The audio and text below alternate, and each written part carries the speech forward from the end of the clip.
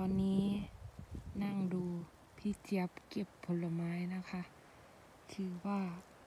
เราเก็บเต็มแป่งแล้ว เราก็ชิลแล้วนะคะ ตอนนี้คือปวดเอวนะคะมันเยอะดูดิ เนี่ย อยู่ใกล้ๆเนี่ย เออ อยู่ใกล้ๆแต่ว่ากระแปงเต็มแล้ว มันมียาวไปโน่นเลยนะทุกคน ดูดูดูเนี่ย สุกเต็มไปหมดเลยเนี่ย คือแบบซ้ายขวาหน้าหลังนี่เต็มไปหมดเลยจริง ๆ นะ เนี่ย เราอยู่กลางดงมันเลยนะเนี่ย ตอนเนี้ย นอนอยู่ เราเนี่ยนอนอยู่ในดงอยู่ต้น รอพี่เจี๊ยบ โอ้ยปวดเอวมากเลย นี่นะคะ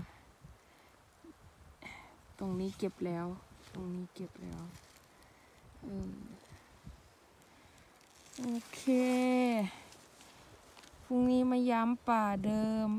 นูดูคนปวดเอว ดูเขาปวดเอว ไปแล้วค่ะ บ๊ายบาย